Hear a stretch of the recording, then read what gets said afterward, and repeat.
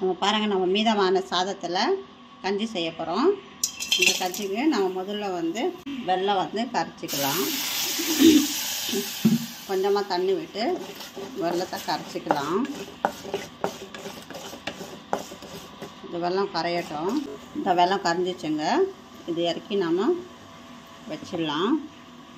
அப்புறம் இன்னொரு கடையை வச்சுக்கலாம் நம்ம அடுப்பில். இதில் வந்து பால் சேர்த்துக்கலாம். இந்த பாலில் வந்து பாலாடெல்லாம் இருக்குது இந்த பால் கொதி வரட்டும். பால் கொதி வந்துச்சுங்க இதில் நம்ம இந்த மீதமான சாதத்தை சேர்த்துக்கலாம்.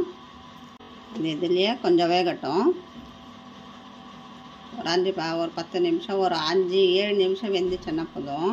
இது நல்லா வேகட்டுங்க. கொஞ்சமாக இன்னும் கொஞ்சம் சாதம். வெந்த சாதம் தான். இன்னும் கொஞ்சம் நல்லா வெந்துச்சுன்னா குழ குழன்னு ஆகிடும் கொஞ்சமாக பாதியாக அது வெந்திருக்கிறதுலேயே இன்னும் கொஞ்சம் நல்லா வேகட்டும். பாருங்கள் இது பத்து நிமிஷம் ஆயிடுச்சு. சாதம் போ போட்டு நாம் இதில் வந்து இந்த வெள்ளை கரைச்சலை சேர்த்துக்கலாம். உங்களுக்கு இனிப்பு எவ்வளோ தேவையோ அவ்வளோ வெல்லம் சேர்த்துக்கோங்க. இதில் வந்து சும்மா ஒரு பெஞ்ச் ஒரு ஸ்டிக்கே உப்பு சேர்த்துக்கலாம். அப்புறம் நம்ம தேங்காய் துருவல் சேர்த்துக்கலாம். கொஞ்சமாக ஏலக்காய் பொடி சேர்த்துக்கலாங்க.